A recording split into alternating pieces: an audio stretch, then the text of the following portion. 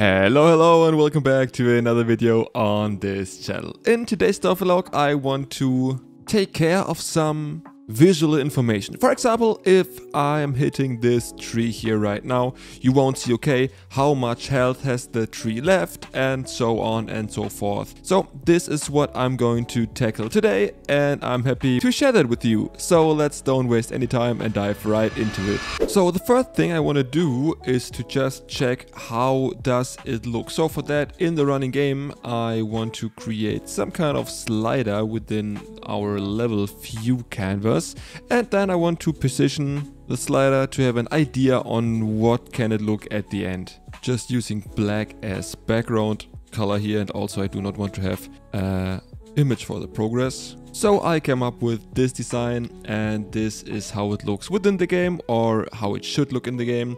Of course, when I move the cam, it's totally off, uh, but I think uh, this is a nice design. And now the real important part to not just uh, press pause on this game because this would delete all our work. I just move this down to my assets so I get some kind of a prefab. So now I implemented it that way that the health bar gets spawned when the resource is getting attacked. Uh, the value gets decreased by the value of the damage and when the tree or the resource itself is getting destroyed, also the UI component gets destroyed. But I didn't implement the position itself, so uh, that's what I have to tackle next. And now, after some really weird behavior of my box collider, I finally managed to fix that and now I can also move the camera and this is working like a charm, hooray!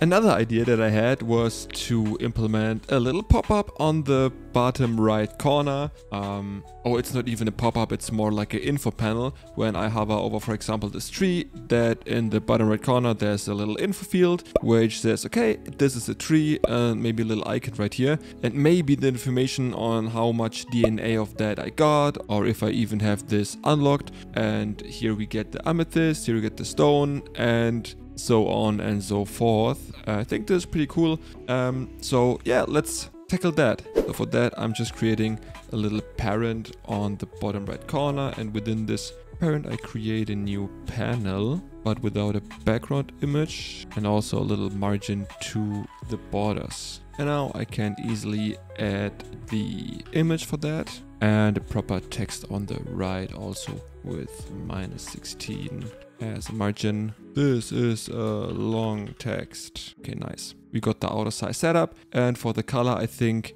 black is okay for the start. And now we give that a new script which is called UI info panel. And in there I'm just creating some methods that we can set the image and the text and the visibility of this whole panel from code. And the code is really not that interesting. This is just a function where I set the information in here. And with this little code, I'm making sure that this info panel is visible when the mouse hovers over this resource.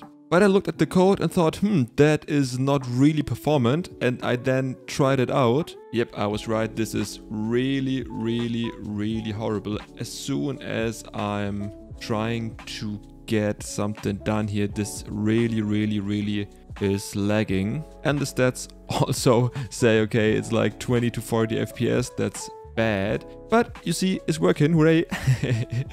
uh, however, we want to optimize that and we are doing this by simply checking if the current cell equals the last cell and then it won't update every single frame. Hooray! I could fix the issue and now it's running smoothly again with our info panel in the bottom right corner. I did not only check if the current cell is the previous cell, I also checked if the world data itself matches with the previous world data. So in this case, I'm hovering the cursor over the grass and technically nothing changes on the bottom right corner and this really decreases the amount on how often I call the UI which is very expensive I learned today and that really really helped a lot. Yep and with that said thanks for watching this video if you liked it then please smash the like button and if you don't want to miss any updates on my game then please hit the subscribe button and we see us in the next video. Bye bye.